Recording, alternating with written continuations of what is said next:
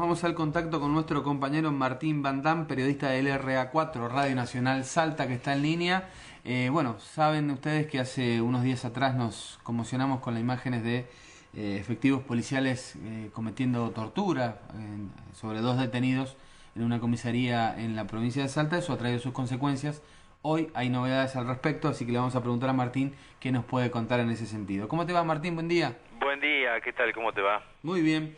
Bueno, queríamos preguntarte qué novedades hay. Tenemos entendido que el gobierno de Salta quiere hacer una purga en la policía y que hoy declararían los efectivos que están detenidos por esas torturas que se vieron en ese video que apareció a través de las redes sociales. Así es. Bueno, por el lado de la justicia, el juez eh, eh, Pablo Fara, que es el mismo que tiene a cargo la causa de, la muerte de Janina Nuez y Luján Peñalba, que también dio vueltas eh, en los medios de comunicación en todo el país. Eh, bueno, está pensando tomarle hoy eh, una ampliación de la declaración indagatoria. Recordemos que los policías ya habían declarado algunos, hace algunos días, em, sobre todo le importaba la figura de Barrio Nuevo, que es el que está señalado como el que habría realizado esta filmación que todos pudimos observar y que él ha negado. Bueno, en este caso va, a seguir con, con, las, con las declaraciones eh, indagatorias durante la jornada de hoy, justamente para determinar cuál fue la participación de cada uno de los, de los acusados, que recordemos son seis los, los que están detenidos por, por, este tema. Y desde el lado político, ayer el ministro de Seguridad de Salta, Eduardo Silvestre, estuvo reunido con los diputados en una prolongada y tensa reunión. Eh, tensa sobre todo porque muchos diputados de la oposición eh, rechazaron esta idea eh, que tiene el gobierno provincial de presentarse como querellante en la causa. Para muchos eh, diputados el, gobierno provincial es una parte responsable por lo que ha ocurrido con, con, este caso y lo que ha ocurrido con otros tantos casos, porque esa es la, la, otra cuestión que, que, que, que, sobre todo caló hondo que es el hecho de que más allá de que este caso haya sido difundido en video, eh, en general hay muchísimas denuncias por eh, torturas y apremios ilegales en general en la provincia de Salta, entonces, eh, digamos, no, los, los, diputados de la oposición no querían que se sea tratado como un hecho aislado, sino que se pensara en términos más generales. Desde el oficialismo se planteó la necesidad de apurar la reforma de la ley orgánica de la policía, que es un una ley bastante antigua eh, y, se destacó además el trabajo que ha realizado el gobierno provincial para eh, eh, capacitar de mejor manera a los agentes de la fuerza de seguridad, sobre todo en materia de derechos humanos, teniendo en cuenta que ellos lo, que plantean o, lo que aducen que, que fundamentaría esta situación que se está dando con los apremios ilegales es que se trata de eh, policías formados a la vieja usanza, eh, donde la formación era, era bastante reducida, corta y, sin los elementos necesarios para tener conocimiento sobre los derechos humanos, y que eso, esa, esa policía que le han dejado a este gobierno sería la que estaría realizando este tipo de prácticas. Eh, Martín, este, un, interrogante que se me plantea a raíz de lo que acabas de informar, de que el presunto autor de los videos estaría negando que él fuese, y estamos hablando de la, del sexto detenido sería, ¿verdad? Claro, en esa eh, comisaría de la localidad de Güemes. Este, la pregunta es la siguiente, ¿cómo, debido a qué circunstancia toma estado público ese video? Porque en general, en general se piensa que cuando se realizan esos videos no es para este, alertar a la comunidad de lo que está pasando, sino más bien es, un, es una demostración de impunidad, ¿no? este, eh, ¿De qué manera toma Estado Público? Eh, el, el, video toma Estado Público, eh, por, digamos, a través del, del, propio Ministerio de Seguridad, o por lo menos eso es lo que se cree, porque en realidad eh, al, al, primer, digamos, organismo que llegó este video. Recordemos que esto fue filmado en julio de 2011, es decir, hace ya un año. eh, es decir, que es un hecho bastante, bastante viejo.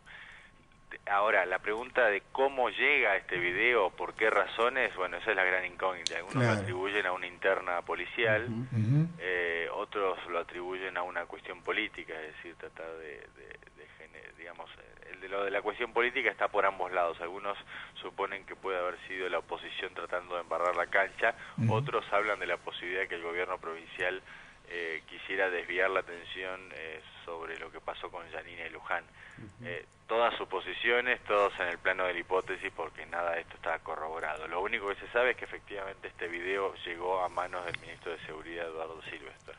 Y con respecto a las personas que son sometidas a tortura, Martín, ¿qué se sabe? ¿Qué, qué ha sido de la vida de esos dos jóvenes que están? Nosotros hemos podido conversar con la familia de uno de ellos, eh, que, que, nos, que nos comentaba de que, de que en realidad este gordillo, que es el... Eh, bueno, para los que hayan visto el video, el que aparece en un primer plano poniéndole la bolsa en la cabeza a uno, a uno de los detenidos, eh, eh, habría tenido una, una hazaña bastante particular que viene de hace años con eh, Martínez, que es uno de los que fue torturado, y según nos contaba la hermana de él, digamos, hace tiempo que venía persiguiéndolo por distintas razones y, buscándolo para ejercer algún tipo de, presión sobre él, por razones que ella desconoce, es decir, qué fue lo que motivó esa hazaña de Gordillo hacia, hacia esta persona se desconoce.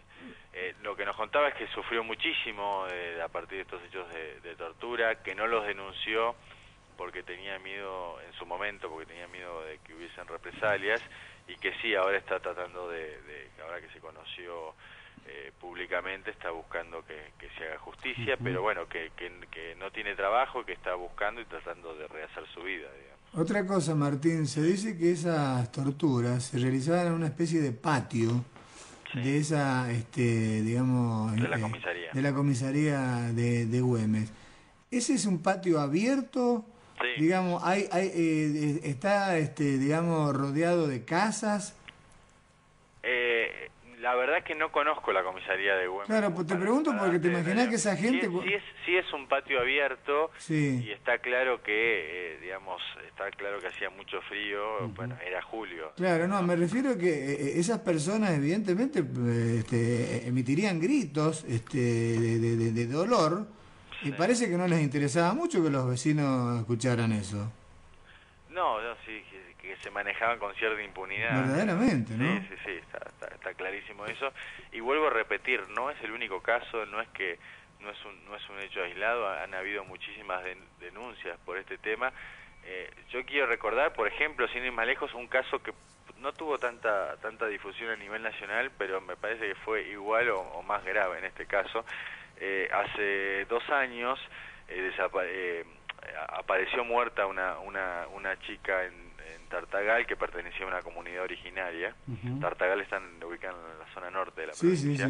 Eh, apareció muerta en un pozo eh, y, bueno, eh, los policías la acusaban, a, bueno, enseguida detuvieron a, algunos de los amigos de esta, de esta chica y, después dijeron que habían confesado el crimen. De hecho, mm.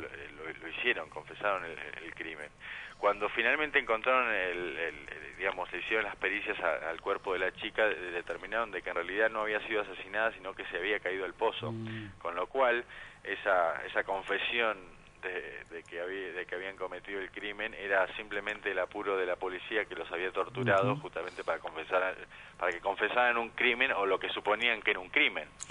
Después eh, bueno esto dejó muy mal parado a la policía eh, hubo varios sumarios, a, eh, relevaron a muchos, a muchos, a muchos policías y después finalmente las personas que habían confesado el crimen eh, eh, también contaron cómo habían sido torturados para que los obligaran a, reconocer un crimen que no solo no habían cometido, sino que no había existido, porque simplemente esta chica se había caído un pozo. Digo, como para, para una muestra de,